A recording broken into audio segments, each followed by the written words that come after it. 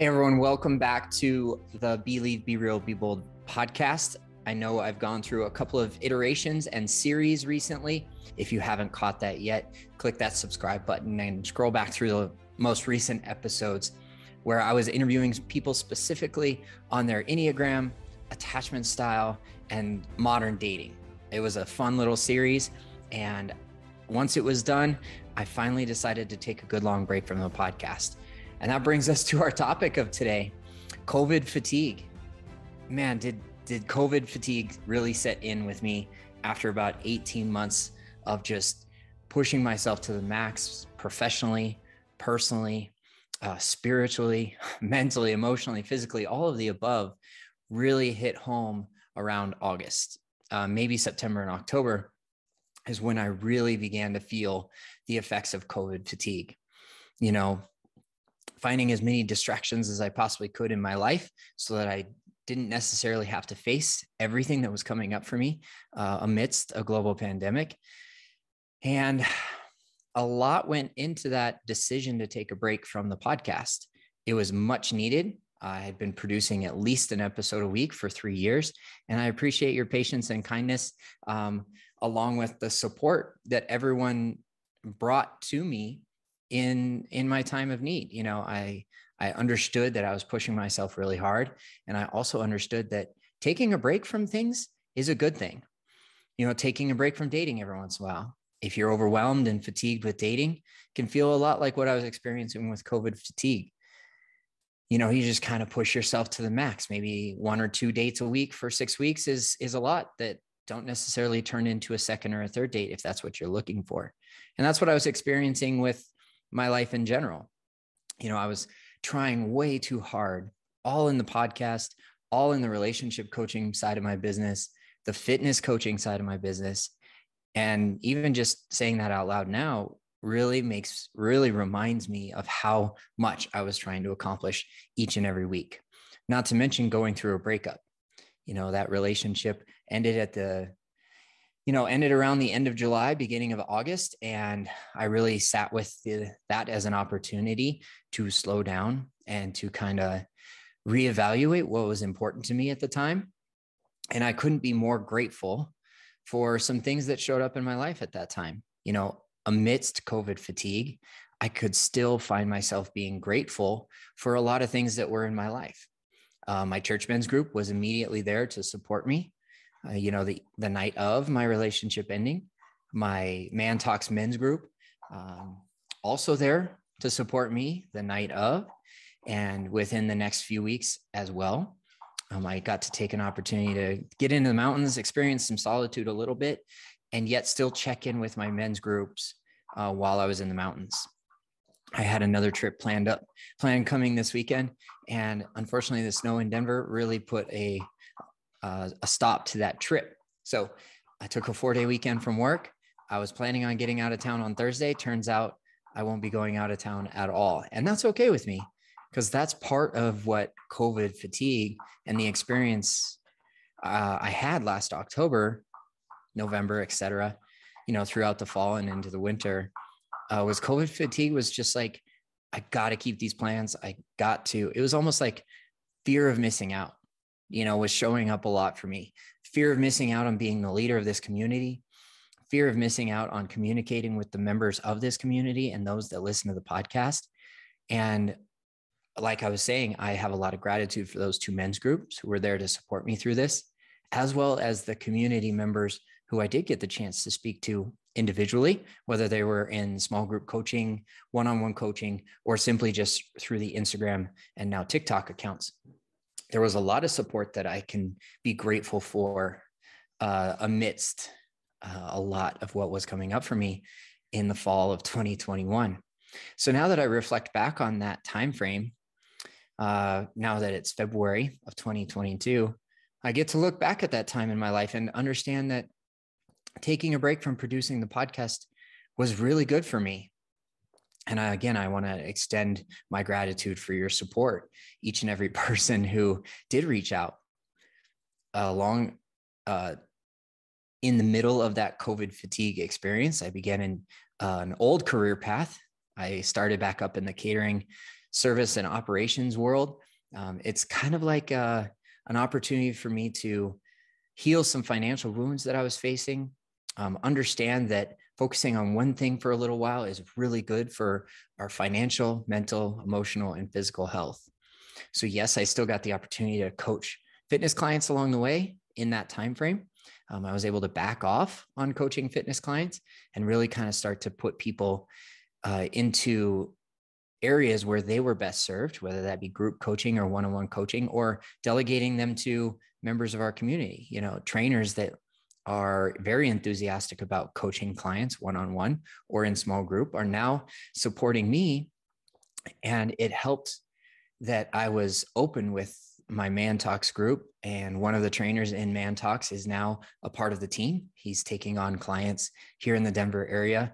Muay Thai instructor, kickboxing instructor, jujitsu black belt, a good friend of mine, and now a teammate that we can uh, send our clients to who want in person coaching in a small studio private space. So um, I'm really grateful for how I approached communicating my COVID fatigue with my brothers in Man Talks. And out of that conversation came a beautiful collaboration where um, our clients at Fit Life get the opportunity to have an enthusiastic coach who's not burnout, who's all in with their goals, their passion, their purpose for beginning a fitness routine. And it also helps me still impact people's lives through fitness, which I'm still passionate about. No matter what comes up in my world, I'm still passionate about coaching people through their fitness journey. If that means that I have that I get the opportunity to bring on some trainers, some fresh ideas, some new energy into the business, then I'm going to do that because I can't put in session after session after session hours for the rest of my life. It's just not doable, especially if I want to reach the financial goals that I have for that Fit Life Champions business.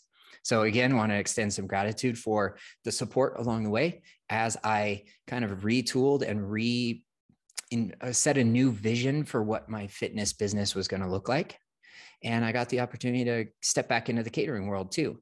So it gives me a good base salary so that I can pursue other passions like fitness coaching and relationship coaching. So that kind of brings you up to speed on how COVID fatigue really hit me hard in the fall of 2021. And I'm really looking forward to pouring back into this community with the energy that I have found to be renewed for my professional life, my personal life, and uh, my coaching experience too, coaching the community in whatever comes up for them. And that's where uh, the Lift, Laugh, Love series of the podcast has come from, is just a lot of that processing and becoming even more self aware of who I am as a coach and understanding that I needed the break. And now that I've gotten time to sit with all of those emotions that were coming up for me, all the physical and mental challenges that I was facing throughout that six month period, I have a renewed energy and I have a very creative opportunity to um, move the podcast in a different direction. Yes, we always talked about how fitness supported our mental, emotional, and um, spiritual health. That was part of the five pillars of optimal health that we've that we've created in our, our in our community as the foundational principles of how we coach, how we live. It's a value based system or a value based um, community focus of mental, emotional, physical, spiritual, and financial health. Those are the five pillars. And the lift uh, portion of our podcast series comes from that fitness. How does fitness, lifting, exercising regularly, even jujitsu, how does that play into and show up for us in our uh, optimal health? And how does that impact our emotional, our mental, spiritual, and financial health as well? So the Lift, Laugh, Love will incorporate more conversations about how fitness can impact our lives and some helpful tools along the way to help support our community in boosting that pillar of, pillar of our optimal health. I feel as if I wasn't using a strength of mine, which is inspiring people to take action in their physical and and uh, physical well-being and overall health and well-being. And I want to pour more into this community with that fitness aspect of the Lift, Laugh, Love series of the podcast. Of course, the laughter that we've experienced along the way whether it be interviewing guests and their unique ideas and their candor and their uh, comedy that they bring to the podcast interviews i want to i want to explore how laughter really impacts our mental emotional physical spiritual and financial well-being as well. So the lift laugh love lift laugh love series the podcast is going to incorporate a lighter side to fitness and a lighter side to pursuing relationships in our lives, whether that be coworkers, family, romantic relationships, or simply just um, new experiences. You know, I came across somebody in Sprouts one day. I was doing my grocery shopping, had my mask on. I think I even had my hat on, you know, and this woman walks past me and she's like, wow, you have really beautiful eyes. And I was taken aback. I was like, wow, that, that's a great opening line that wasn't even a line. She simply just wanted to spread joy and and positively influence my day, and she did. And and I after I took a moment to pause and re- re- collect uh, collected uh, collected myself uh, after the compliment, I repaid the compliment and said, "I really like your style." Nothing ever came from it because I wasn't necessarily looking for anything romantic from that interaction. And I don't believe that she was either. It was simply just one way to lighten the mood or lighten the experience of grocery shopping in the middle of a pandemic, where I believe we had just had new mask mandates come down. So after three or four months of not wearing a mask at all in public, back to wearing masks. And she took the one physical feature that she could see of, of a perfect stranger and completely turned around my day. And I was really appreciative and got the opportunity to repay that compliment. So we're going to pursue uh, how fitness impacts our um, optimal health, our health and well-being. We're going to explore how laughter and uh, lightheartedness impacts our optimal health and well-being. And then finally, we're still going to focus on the love portion of the podcast because this was always founded on reaching out to therapists, counselors, authors, speakers, people who knew more about love and relationships than I did three and a half years ago, now almost four years ago, reaching out to them, interviewing them on their um, on their areas of expertise, so that we could grow uh, through education to find our most authentic selves. And when we show up as our most authentic selves in dating and relationships, we find that we will attract in kind that authentic person that we can build a connection, not an attachment. We can build a foundation based on connection, not attachment. And that is the purpose of this Lift, Laugh, Love series with me as your host, Dave Glaser. Uh, it's fun to it's fun to get back into the rhythm of hosting the podcast and talking for a certain amount of time no preparation went into this podcast other than the three things that I wanted to talk about. And I think that I've only talked about one of them. So let me refer back to my notes so that uh, we can get back on track. Uh, one of the tools that we will use uh, to highlight uh, the fitness, how fitness impacts our optimal health and well being is through fitness facts. Uh, connect with me on Facebook. You can search my name, Dave Glaser, where I share a fun fact, a fun fact about fitness uh, almost daily. Um, one of my most recent favorite ones is that fitness can make us better in bed.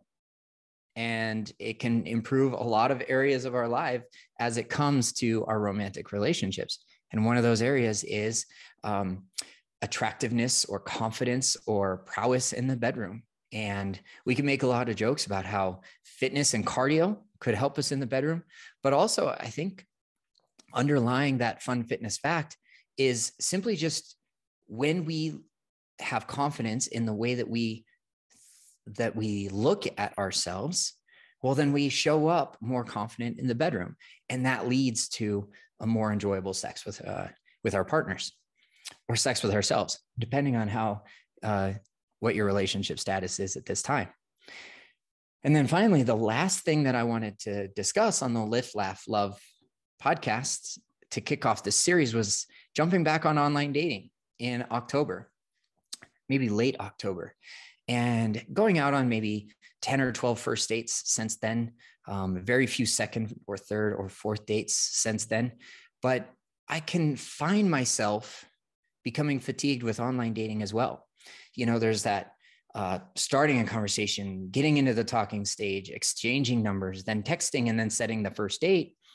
It's like a rinse and repeat over and over and over again until you find somebody that is an authentic match for you, who is at that energetic level that you're looking for.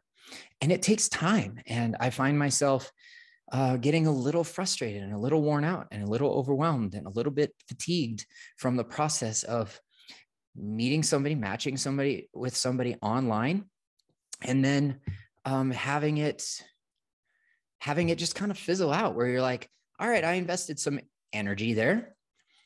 Uh, questions come up for me of like, why would you match with somebody and then never continue the conversation?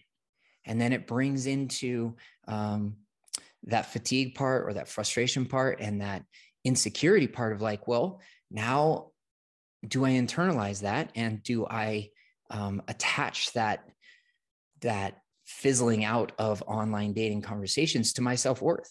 And that's what I face when I show up online dating. Yes, I've had some incredible first dates since October. Have I had some poor first dates since October? Yes, absolutely. And if that's the case, then I just don't pursue a second date. If I enjoy myself, I'll pursue a second date. And at that point, uh, the other person who we went out on a date with gets the opportunity to choose. I extend the invitation and they get the opportunity to choose. And this is the part that fascinates me about my experience since October is that I'm not taking the rejection personally. I'm actually approaching the second date with non attachment because I went into setting up the profile with non attachment as well. And I mentioned just a moment ago of that frustration of like, why match and not continue the conversation? Well, that shows me that I'm not approaching my entire online dating experience with a philosophy of non-attachment. And that's something that I can take a look at now that I now that I put words to it, now that I put it out there. Um, I'm definitely going to focus on approaching all of the online dating process with a philosophy and a mindset of non-attachment. Non-attachment could be described as like I'm not going to uh, invest emotions with somebody that I just simply matched with on an online dating app. Yes, I can become interested and curious and attracted to this person, but I'm not necessarily invested in who they are until we meet in person. And that's how I can approach multiple matches that go nowhere, that don't get out of the talking stage, might even exchange numbers and not get out of the talking stage. And that's how I can approach this whole um, meeting people online with non attachment. If that resonates with you, uh, don't hesitate to reach out with me on multiple platforms. Uh, TikTok has been a lot of fun.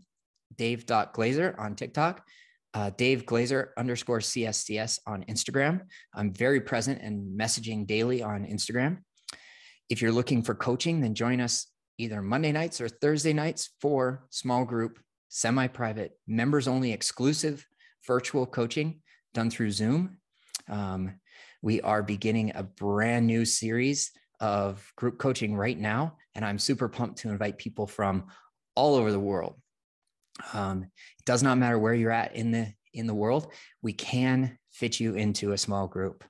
If you're looking for one-on-one support as you get out there, matching with people online, dealing with social media, experiencing COVID fatigue, then please reach out, connect with me, and we'll do a one-on-one consultation absolutely free uh, so that we can make sure that we're the right fit for each other.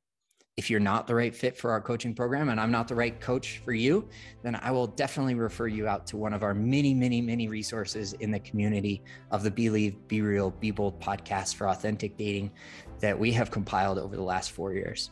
There are so many coaches, therapists, counselors, speakers, authors that I have connected with that I trust that I would be happy to connect you with. So if you're looking for a little bit more support in romance, fitness, or just need a little bit of uh, candor in your life, then don't hesitate to reach out. And if you get the chance, please share this episode with somebody that you feel would get a lot of value out of the conversation. Thank you so very much. Wishing you health and happiness wherever you're at in the world.